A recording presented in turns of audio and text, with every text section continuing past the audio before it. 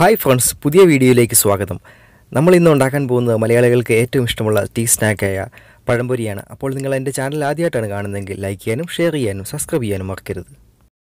ഇനി ഏത്തക്കാപ്പോ അല്ലെങ്കിൽ പഴംപൊരി ഉണ്ടാക്കാനായി ഞാനിവിടെ മൂന്ന് മീഡിയം സൈസിലുള്ള നല്ലതുപോലെ പഴുത്ത പഴമാണ് എടുത്തിരിക്കുന്നത്. ഇത് നല്ലപോലെ കഴുകി തുടച്ചാണ് വെച്ചിരിക്കുന്നത്. നമുക്ക് ഇത് പീൽ ചെയ്ത് മൂന്ന് പീസായി മുറിച്ച് പ്ലേറ്റിലേക്ക് മാറ്റി വെക്കാം. ഒത്തിരി വലിപ്പം കൂടിയ പഴമല്ല ഞാൻ എടുത്തിരിക്കുന്നത്. നീളം കൂടിയ പഴമാണ് എടുത്തിരിക്കുന്നതെങ്കിൽ നമുക്ക് ആറ് പീസായിട്ട് മുറിച്ച് സെപ്പറേറ്റ് ചെയ്ത് വേറെ പാത്രത്തിലേക്ക് മാറ്റി വെക്കാം.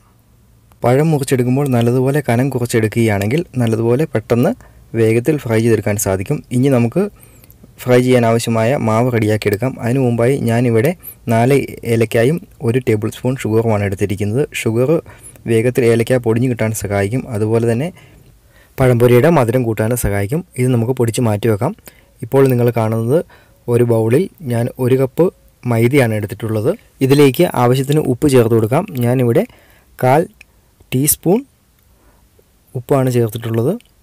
കൂടാതെ നമ്മുടെ പഴംപൊരി നല്ല ക്രിസ്പി ആകുവാൻ വേണ്ടി ഞാനിവിടെ അര കപ്പ് അരിപ്പൊടിയും കൂടെ ചേർക്കുന്നുണ്ട്. ഇനി നമുക്ക് ആവശ്യത്തിന് വെള്ളം ഒഴിച്ച് നല്ലതുപോലെ ഇളക്കിയെടുക്കാം. ചില ചായക്കടയിൽ അരിപ്പൊടിക്ക് പകരം കടലമാവാണ് ഉപയോഗിക്കുക. നല്ലതുപോലെ ഇളക്കിയെടുക്കുമ്പോൾ പ്രത്യേകം ശ്രദ്ധിക്കണം. ഒത്തിരി ലൂസും ആകരുത് ഒത്തിരി ടൈറ്റും ആകരുത്. നല്ലതുപോലെ ഇളക്കിയെടുക്കാം. ഞാനിവിടെ ഒരു വിസ്ക്കാണ് എടുത്തിരിക്കുന്നത്. നിങ്ങൾക്ക് വേണമെങ്കിൽ ഒരു സ്പൂൺ ഉപയോഗിച്ച് നല്ലതുപോലെ ഇളക്കിയെടുക്കാം. കൂടാതെ ചായക്കടയിൽ പോലെ നമ്മുടെ പഴംപൊരിക്ക് നല്ല മഞ്ഞ കളർ വേണമെങ്കിൽ നമുക്ക് ഒരു നുള്ളു മഞ്ഞൾപ്പൊടിയും കൂടെ ഇതിലേക്ക് ആഡ് ചെയ്യാം.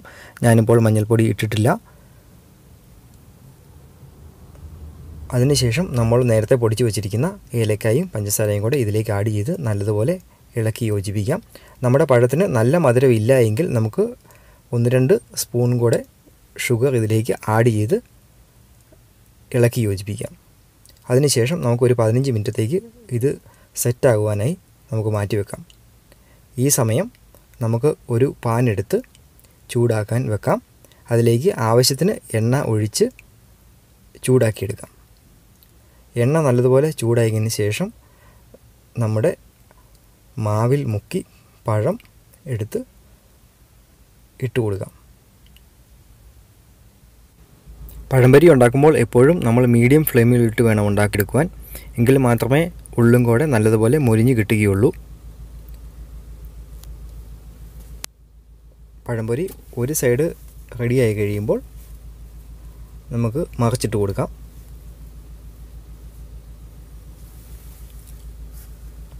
ഇപ്പോൾ നമ്മുടെ പഴംപൊരി ഏകദേശം നല്ലതുപോലെ മുരിഞ്ഞു വന്നിട്ടുണ്ട്. നമുക്ക് ഇത് കോരി ഒരു ടിഷ്യൂ പേപ്പറിലേക്ക് മാറ്റി വെക്കാം.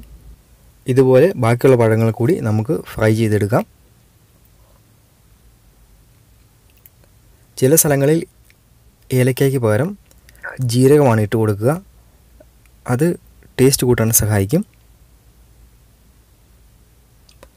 അപ്പോൾ ഈ ടിപ്സ് നിങ്ങൾ ട്രൈ ചെയ്ത് നോക്കുക. ഈ വീഡിയോ ഇഷ്ടപ്പെടുകയാണെങ്കിൽ ലൈക്ക് ചെയ്യാനും ഷെയർ ചെയ്യാനും സബ്സ്ക്രൈബ് ചെയ്യാനും മറക്കരുത്. അങ്ങനെ ചായക്കടയിലെ അതേ രുചിയിൽ തന്നെ വളരെ പെട്ടെന്ന് നമുക്ക് വീട്ടിൽ പഴംപൊരി ഉണ്ടാക്കിയെടുക്കാം. അപ്പോൾ നിങ്ങൾ തീർച്ചയായും ട്രൈ ചെയ്യുക.